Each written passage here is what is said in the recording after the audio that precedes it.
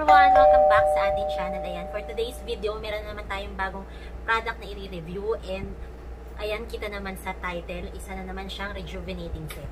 Ayan guys, actually itong rejuvenating set na to, ito yung pinaka um, uso ngayon, pinaka favorite halos ng mga nagre-rejuvenating set na skincare ngayon.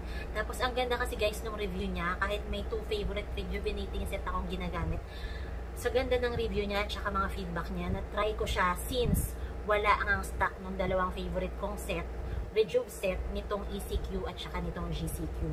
Kaya ayan, pansamantala, ito muna yung tinry ko pero feeling ko hindi na, hindi na siya magiging pansamantala lang. Kasi parang nakalimutan ko muna yung dalawa kong favorite dahil dito at currently ito na yung pinaka-favorite ko dahil nga sa ganda ng effect niya. Actually guys, 2 2 weeks ko na tong ginagamit, paubos na siya. Ito siya, pakilala ko na siya sa inyo. Si Prestige International Rejuvenating Plus Set. Ayan siya. Tapos, this retails for only 300 pesos ulit compared dun sa iba na 300 rin naman. Meron mga rejuvenating set na hanggang 500 to 550. Pero ito, um, ka-level niya naman ng presyo sina Brilliant Skin and Fairy Skin. Tapos, meron syempre reseller price ito at saka sub-reseller price na mas mababa. Pero since ako, eh, bumibili lang naman, dun tayo sa talagang retail price niya na 300 pesos. Tapos, this box contains 4 items or 4 um, products sa loob. Ayan siya.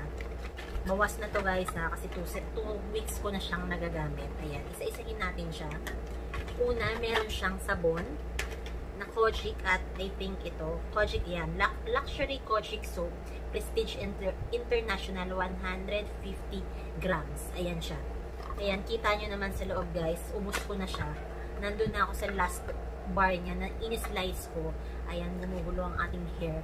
Ayan, in-slice ko siya ng ganyan. Parang yung ginagamit ko sa Kojisan. And finally, doon kasi sa dalawang um, rejuvenating set na ginamit ko, yung favorite kong dalawa, yung Brilliant Skin and Fairy Skin, hindi ko ginagamit yung Kojic soap nila. Ay, si Fairy Skin pala ginagamit ko.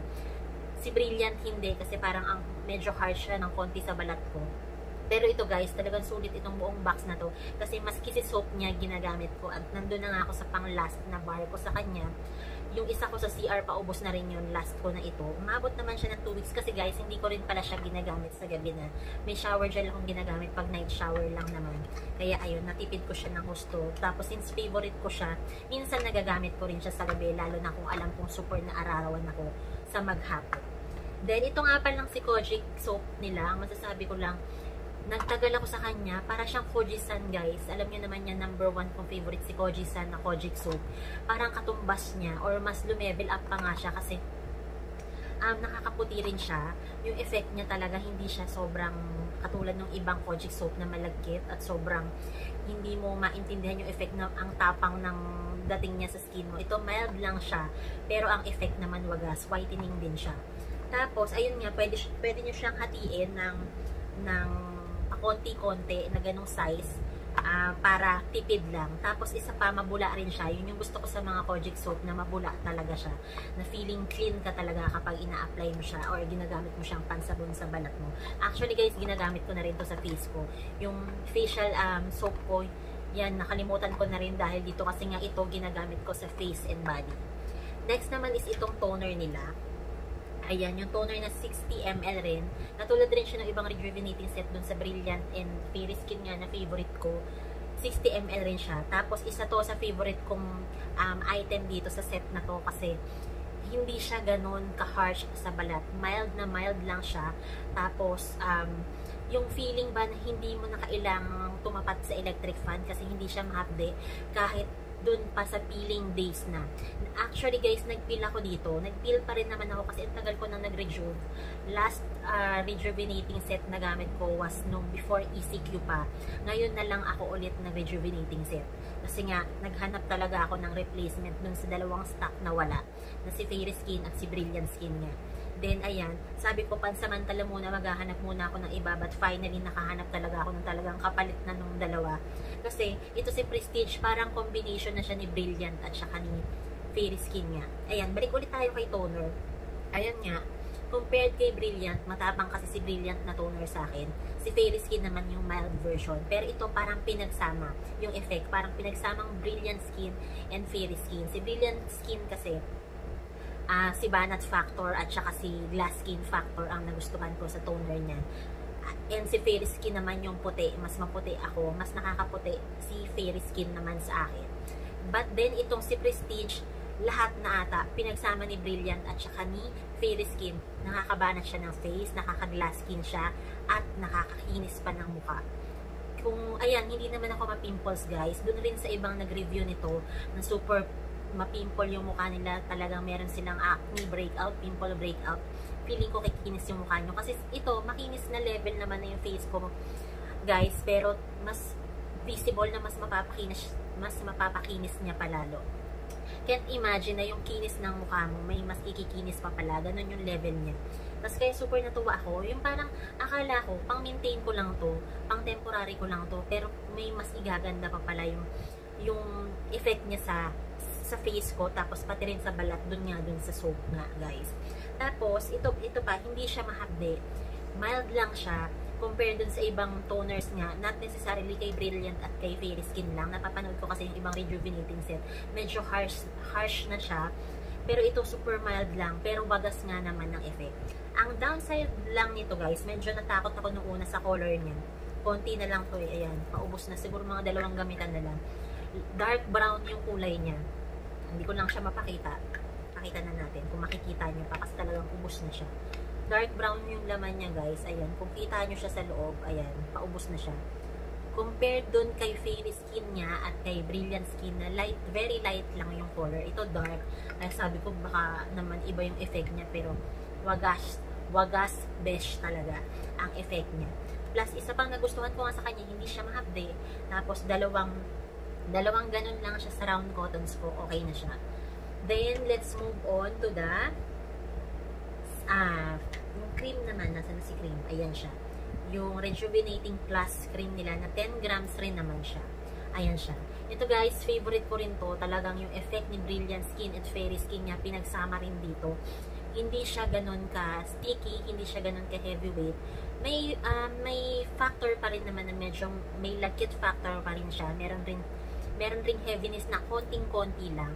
Pero hindi mo naman siya madadama as long as alam mo effective talaga sa yung products. Hindi mo na siya iindahin kasi nga yung effect talaga ang magsisink in sa utak mo habang ina-apply mo siya. Tapos since super favorite ko siya, ayan, medyo paubos na siya. Ayan mo guys, mukha lang siyang ano, mukha lang siyang puno ba, pero ayan, paubos na yan. Day and night ko naman to ginagamit, besh mga sis, ginagamit ko siya day and night. Kahit na alam kong pagpapawisan talaga ako ng todo pag in-apply ko to, favorite ko pa rin siyang ina-apply day and night. Kaya hindi katulad nung sa dalawa na talagang um, minsan gabi ko lang ginagamit or minsan minsan ko lang siyang magamit sa umaga kasi nga todo pawis. Tapos yung lagkit factor nga niya, yun yung ayoko. Pero ito, ewan ko talaga na pamahal ako sa kanya. Nakalimutan ko talaga yung dalawa. But, ayun na, favorite ko pa rin naman yung dalawa guys. Pero ito talaga, current favorite na. Ito na si number one ko talaga. Try nyo siya guys. Dun sa mga naghahanap, mga first timers sa rejuvenating set, ito ang highly recommended ko sa inyo. Yung hindi talaga kayo matatakot. Meron siyang peeling. Nag-peel ako dito hindi ko nga ina-expect eh, na talagang ang peeling niya talagang sobrang micro peeling lang siya sa akin. Hindi ko na siya ginamitan rin ng ibang product. Like nung ginagamit ko dun sa Brilliant niya at saka kay Fairy Skin. Gumagamit pa ako ng soothing gel, yung mga aloe vera soothing gel, ayan. Gumagamit pa ako para mas mabilis yung peeling, pero dito hindi na. Kasi carry naman yung peeling niya, parang hindi kita, hindi halata, pero may peeling pa rin naman. Yung half day factor, hindi ko siya sa kanya talaga naramdaman. Ewan ko lang talaga dun sa iba guys. Pero dito, alam ko makakaramdam ulit ako ng half day eh, at saka yung feeling na talagang drastic feeling talaga, pero yung hindi ko na na experience dito sa prestige na ito. Walang feeling na talagang sobrang lala na mahihiya ka magpakita. But since kahit naman ng feeling kayo guys, hindi naman yung nakikita ngayon kung magre-rejuvenating set kayo sa panahon to kasi naka-mask na, naka mask naman tayo, hindi yan kita. Mata lang yung kita tsaka yung noo lang. Pero hindi na talaga siya pansinin kasi nga naka-mask naman tayo sa araw-araw. Pero since ito naman, hindi drastic feeling niya, carry naman siya talaga kahit walang mask. Then, ayan, Finally, ito, yung next natin is itong si sunscreen nila. Ito, si sunscreen nila. Suns sunscreen gel cream nila na SPF 30. Ayan, ginagamit ko na siya, guys. Kung napanood nyo yung vlog ko sa Brilliant and fair skin, hindi ko ginagamit kasi yung ano nila, sunscreen nila. Kasi meron akong sunscreen na ginagamit. Yun yung sa, ano ba to? Yung sunscreen na sa Etude House, ayun, yun yung favorite ko. At meron din akong current favorite sunscreen ngayon sa Lux Organics. Ayan. Pero ito, ginagamit ko siya guys. Since nung in-start ko nga itong si Prestige. Lahat itong four products nila, favorite ko talaga na ina-apply sa akin. Wala akong talagang hindi ginamit sa kanya. Unlike dun sa dalawang dun sa dalawang favorite ko nga na si Brilliant and Fairy. Ayan, talagang kinumpare pa talaga. Kasi kailangan mo guys ng comparison para malaman mo talaga yung effect ng bawat isang product sa'yo. Kaya ito guys, si sunscreen gel cream nila ng SPF 30, ito rin yung ginagamit ko ngayon. Hindi siya sobrang bigat, hindi siya katulad ng ibang sunscreen na ang bigat paglapat mo sa mukha mo na mega pawis ka talaga. Ito guys, hindi. Favorite ko siya, lightweight lang siya. At saka, ito naman, a little goes a long way. Matagal mo siyang magagamit. Yan, marami pa siya kahit na halos 2 weeks ko na siyang nagagamit, marami pa siya. Kaya tipid naman itong si sunscreen nila. Tapos minsan nga ina-alternate ko rin naman yung iba kong favorite sunscreen talaga. Kaya tipid ko siyang gamitin. Then, ayan. Isisingit ko na rin pala to. Another prestige product naman ito.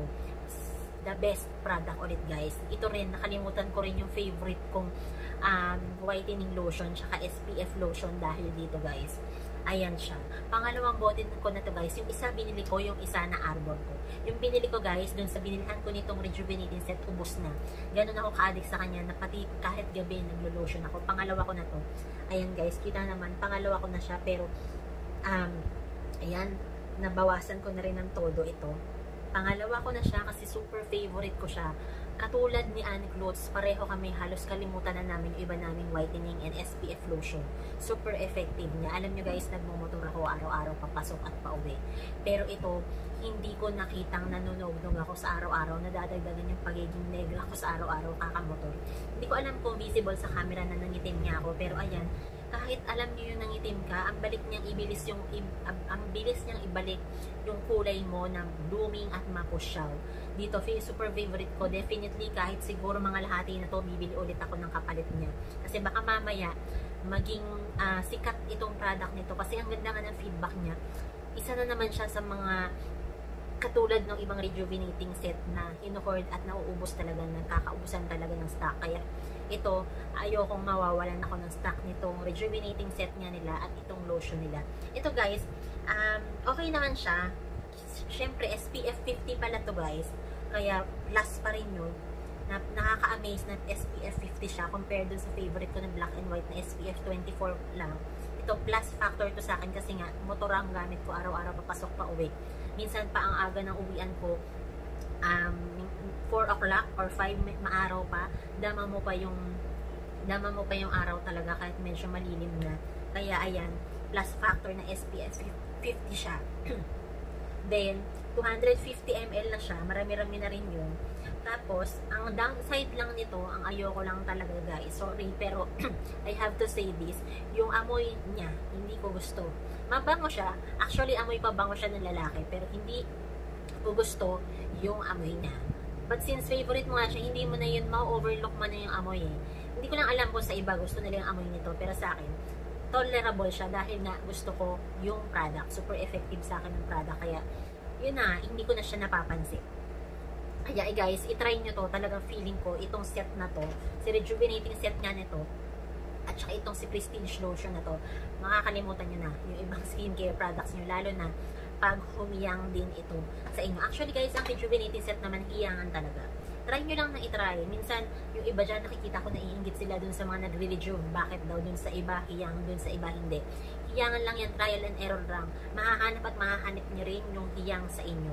Yan, hiyang sa akin yung dalawa, yung wala nga stock. Pero ito, super favorite ko na. Hindi ko na magiging permanent, eh, hindi ko na magiging um, ano to, yung parang replacement lang, temporary, magiging permanent nito sa akin. Ito na ang number one favorite kong rejuvenating set and lotion, guys. Ayan, try nyo siya. Uh, this retails pala for 250 pesos, guys. Tipid na siya, little goes a long way. Konting pump lang. Dalawa lang, I think, sa legs magkabila, dalawa, tapos sa kamay, isang pump, okay na. Kaya super tipid din naman. Nag-addict lang talaga ako, kaya naging dalawa na.